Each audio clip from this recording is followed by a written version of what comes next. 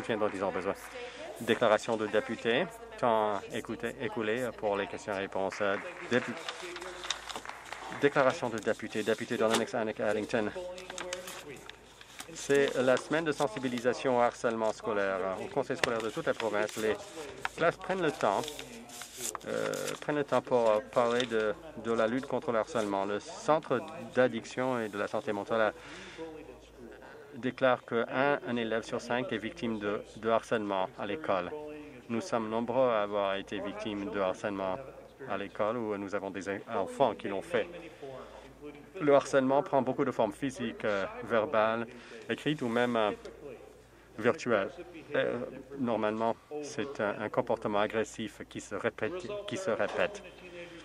Le résultat, c'est que les enfants ou les adolescents peuvent euh, avoir des problèmes de santé mentale, solitude, en manque d'amour propre et même des, des affections physiques du fait du harcèlement et ils ont peur euh, de, de dénoncer l'auteur de ces harcèlements. Donc, à tous les parents, faites, euh, soyez attentifs aux signes de harcèlement. Ils ne veulent pas se rendre à l'école où ils commencent à perdre des objets personnels ou de l'argent. Mais surtout aux élèves de la province, s'il vous plaît, n'oubliez pas que vous n'êtes pas seul. Parlez à un adulte à qui vous faites confiance. Parlez avec un ami ou euh, euh, avec euh, soeur, une sœur ou un frère, ou, vous pouvez appeler la, ligne rouge contre le harcèlement. Ensemble, nous pouvons éliminer le harcèlement. Député Nick Robert. Merci, Madame la Présidente. Hier soir, j'ai assisté au, pot de, retraite de Petticoat, président de la Fédération du travail la fédération provinciale la plus importante au Canada depuis, de, depuis 2019 jusqu'à il y a deux jours. Grâce à son leadership, la FTO représente maintenant 1,2 million de travailleurs dans la province et, 1500 sections locales sur, dans 14 syndicats différents. Je l'ai rencontrée en 2015 lorsqu'elle a été élue euh, secrétaire trésorière de la FTO, FTO et euh, elle m'impressionne énormément. Elle a transformé la FTO pour le mieux. Son style de leader est totalement différent. Elle aime la collaboration. Elle rassemble les gens pour atteindre des objectifs ensemble. Patty est capable d'écouter et parfois dans des contextes très tendus pour voir ce qui nous unit et non pas ce qui nous divise. Elle réunit euh, tout cela tout sur quoi euh, les uns et les autres sont d'accord pour euh, unir les alliés avec des perspectives et priorités, priorités différentes. Depuis une année, la FTO a uni tout le mouvement syndical. Son leadership était était très visible l'année dernière lorsque le gouvernement a déposé un projet de loi qui était une attaque inconstitutionnelle contre tous les élèves, tous les parents, tous les travailleurs de la, de, l'éducation de, la province. Ils ont gagné. Il a, il a réuni les travailleurs dans un front uni qui a obligé le gouvernement à faire marche arrière. Vous allez me manquer, mais n'oubliez pas, j'ai votre numéro de téléphone.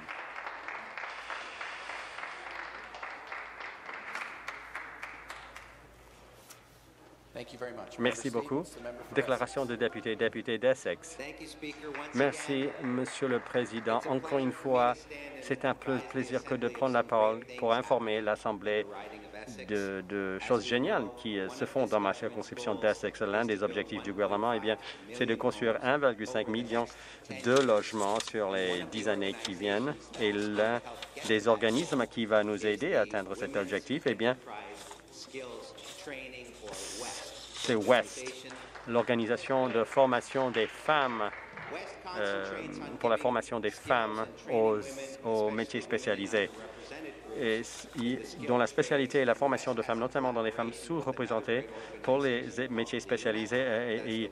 Et, West collabora avec euh, euh, le syndicat national des travailleurs de la province, la section locale 625, LIUNA et West, ensemble, vont vont euh, former ces personnes euh, pour ces métiers spécialisés dont, dont, nous avons besoin pour construire des logements, en partie grâce à une bourse de la part du gouvernement de l'Ontario. Je remercie les équipes de Liuna et les équipes de West et surtout Rose Aguayana Horse de ma, ville d'origine, de Amherstburg. Euh, elle nous a aidés. Elle aide les personnes à acquérir les compétences dont nous avons besoin pour construire 1,5 million de logements sur les dix années à venir. Merci. Merci. Député de Toronto Centre. Merci beaucoup, euh, Monsieur le Président. Je prends la parole pour parler de, de, groupes extrémistes insidieux euh, avec une ombre dangereuse et haineuse sur le tissu de notre société. L'intimidation d'élèves trans, des négationnistes du Shoah, le vandalisme des synagogues et entreprises juives, femmes portant le hijab harcelées, hommes portant le kafia, euh, le kippa harcelé et, ensuite la, tuerie d'une famille musulmane par une personne radicalisée par des suprémacistes blancs euh, en ligne. Cette idéologie cherche à imposer la domination en déchirant le tissu multiculturel de notre pays, la transformer l'homophobie ni aux personnes le droit fondamental de vivre authentiquement et sans, peur. L'antisémitisme et l'islamophobie propagent la haine et la discrimination contre des communautés religieuses pour créer un climat d'insécurité et de préjugés. Il faut combattre ces idéologies avec véhémence par la loi, la sensibilisation et la participation communautaire. Travaillons ensemble dans tous les partis pour éradiquer l'extrémisme. Dénonçons et interdisons les campagnes de discrimination qui nourrissent la misogynie, le nationalisme blanc, le terrorisme domestique. nos actions aujourd'hui peuvent mettre l'accent sur l'unité et l'inclusivité. Merci. Merci beaucoup. Déclaration de député député euh, de Bruce Gray, Owen Sound. Merci, euh, Monsieur le Président. Hier, Sharif Rahman de Owen Sound a été honoré en tant que, euh, en tant que lauréat de la médaille de paix de la YMCA pour les personnes qui, sans toucher un sou, travaillent à la construction d'une meilleure communauté pour nous tous et toutes. Sharif mérite absolument ce prix. Malheureusement, il reçoit cette médaille après son décès. Il, a grandi au Bangladesh, il a obtenu une maîtrise à l'Université de, Glasgow et a, vécu en Angleterre avant de venir au Canada en 2013. Il a acheté le Curry House, le restaurant Curry House, euh, au centre-ville de en 2015. Sharif cherchait toujours des moyens d'aider euh, les autres de la localité. Elle a fait, mais le 16, 10, 16 août, tout a changé. Tout a bousculé. Il était victime d'une agression à l'extérieur de, son restaurant. Après, un, différent avec trois clients qui refusaient de payer. Euh, il, est, il a décédé euh, de cette agression une semaine plus tard. La communauté a été durement touchée par cette, cette agression. Beaucoup de gens se sont réunis pour un défilé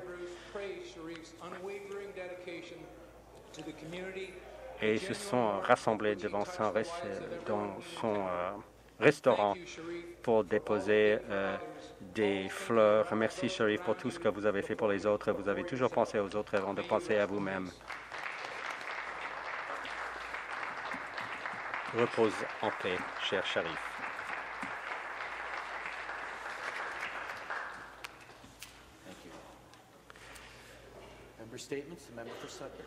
Merci. Déclaration des députés et députés de Sudbury. Aujourd'hui, je voudrais vous parler de la, du drapeau de sensibilisation euh, euh, aux euh, difficultés d'apprentissage qui flotte maintenant au-dessus de, de l'hôtel de ville de Sudbury. Je pense maintenant à mon fils Sam. Lorsqu'il avait en troisième année, il, il, n'aimait pas aller à l'école. Il trouvait... Il avait un...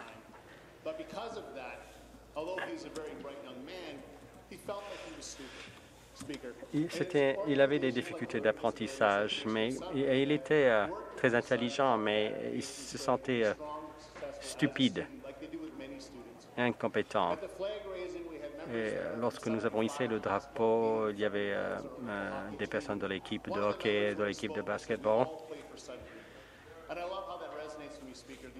Et l'un des joueurs a dit que, nous jouons tous pour Sudbury. Ces enfants atteints de difficultés d'apprentissage peuvent avoir énormément de succès. Mon fils Sam, plusieurs années après, il a maintenant presque 26 ans, mon fils Sam euh, aura son diplôme et l'année prochaine, il sera enseignant. Et il, aura ses connaissances et ses expériences euh, pour aider.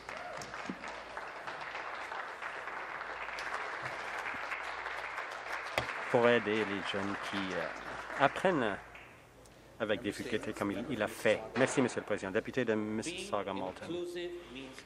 L'inclusivité, eh bien, c'est être pour la diversité, les bras ouverts, euh, promouvoir l'appartenance pour les personnes avec des capacités différentes. Il s'agit de créer des espaces où tout le monde se sent respecté, entendu et apprécié.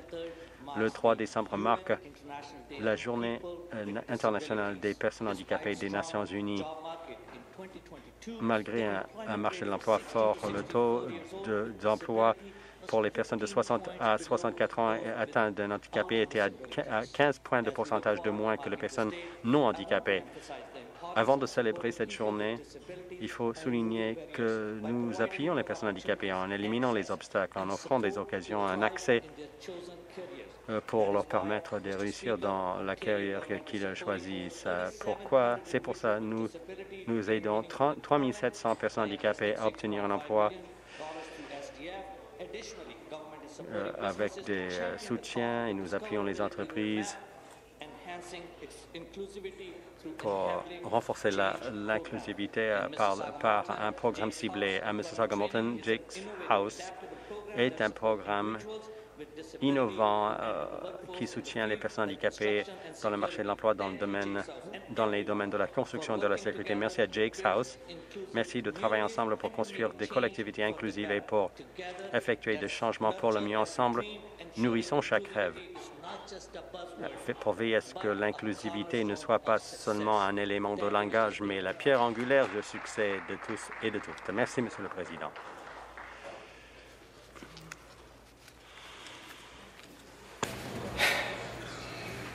Member statements. The member